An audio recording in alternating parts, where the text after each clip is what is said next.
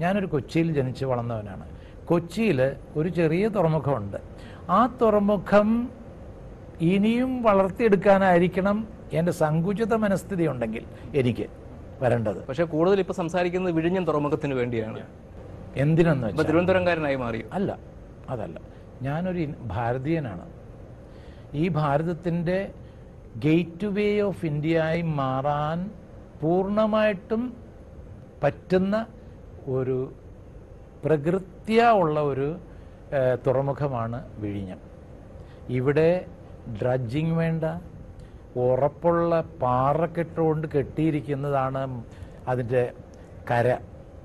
അതിൽ അതിൽ എത്ര ഇന്ന് വരെയുള്ള സൈ ഇന്ന് വരെയുള്ള അവരുടെ ടെക്നോളജിയിൽ ഉണ്ടാക്കിയിട്ടുള്ള കപ്പലുകൾ എത്ര വലുതാണെങ്കിലും ഇനി ഒരു കുറഞ്ഞ കുറേ കാലങ്ങൾക്ക് ശേഷമെങ്കിലും നമുക്ക് ധൈര്യമായിട്ട് ഓടിച്ച് കയറ്റാവുന്ന പരിസ്ഥിതിയാണ് ഇവിടെ ഉള്ളത്. അത് ഞാൻ പറഞ്ഞതല്ല. എന്റെ എന്റെ സബ്ജക്റ്റ് അല്ല ഇത്. ജർമ്മനിയിലുള്ള മറ്റ് വിദഗ്ധർ പറഞ്ഞിട്ടുള്ളതാണ്. ഇത്രയും ഒരു പ്രകൃതിക്ക് അനുയോജ്യമായിട്ട് ഇതിനു വേണ്ടിയിട്ട് സൃഷ്ടിച്ചിട്ടുള്ള ഒരു സ്ഥലത്തെ നിങ്ങൾ മറന്നുപോയല്ലോ.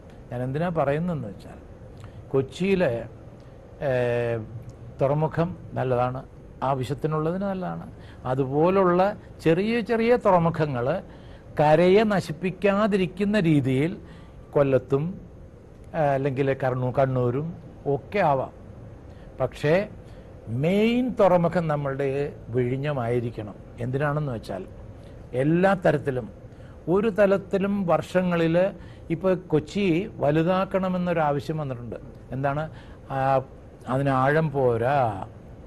ഇതിൽ വരാവുന്ന ഭവിഷ്യത്തുകൾ എന്തെന്ന് വെച്ചാൽ നാനൂറോ നാനൂറിന് മേലെയോ കോടി ഒരു വർഷത്തിൽ ചെലവ് ചെയ്യണം. ഡ്രജ് ചെയ്യാൻ അത് നല്ലതായിരിക്കാം ചില ആളുകൾക്ക്. മറ്റുള്ളവർക്കത് ദഹിക്കില്ലായിരിക്കാം. എനിക്ക് ദഹിക്കുന്നില്ല. കാരണം എന്തെന്ന് വെച്ചാൽ ഇത് ഡ്രജ് ചെയ്യുകയാണെങ്കിൽ ചിലപ്പോൾ വൈപ്പിനില്ലാതാകും വൈപ്പ് ഔട്ടാവും വൈപ്പിൻ വൈപ്പ് ഔട്ടാവും അതുപോലെ അപ്രധാം ഇതുണ്ട്. നായരമ്പലം ഉണ്ട്. അത് നായരും ഇല്ല അമ്പലവും ഇല്ലാണ്ടാവും.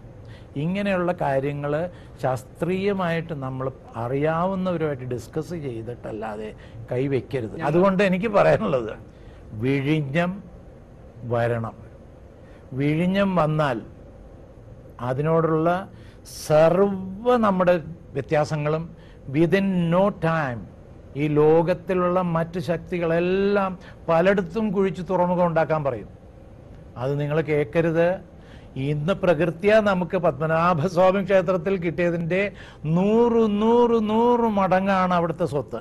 അത് മനസ്സിലാക്കിക്കൊണ്ട് അവിടുത്തെ ഫിഷർമാനോ അവിടെ താമസിക്കുന്ന ആളുകളെയോ മാറ്റുമ്പോൾ അവർക്ക് വേണ്ടി സ്വത്ത് കൊടുക്കുകയും വേണം.